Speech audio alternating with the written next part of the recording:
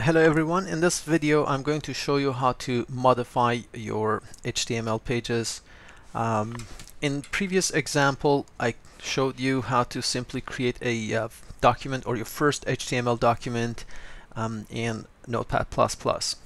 But let's say you close the file. I'm just going to close it here and now you don't have the ac access to the page code anymore.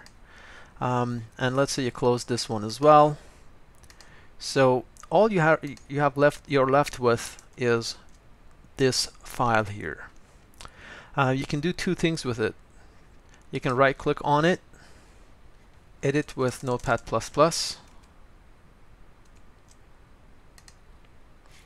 So it will open it in Notepad++ and also you can double click it and it, the page will be opened with your default browser. So there you have it. Now we have access to the code and we have access to the viewing browser. So you can do exactly what we were doing before. You can make changes here, save the file, go back here and refresh the page to see the changes. So that's how you can open HTML pages and modify them. I hope this helps. Thank you for watching.